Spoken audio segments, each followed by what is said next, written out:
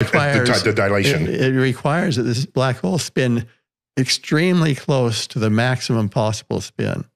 And so in the book, I give the formula for what is the, uh, the spin of the black hole that is required to produce a given amount of slowing of time. I did not know that. And Okay. uh, and that and so that it's an approximate formula, but it's a formula that can be derived. Though it takes a, takes a fair bit of algebra. Okay, so the one one would just learn about would Yeah. probably be this, the lowest stable orbit around a non-rotating black hole. That's right, And that's a clean- That's that's a clean problem, and that Clean problem. That's that's what I was thinking when uh, Chris When you said told I want no. this, and I knew that if I made the black hole spin, that it would get closer, but I couldn't imagine.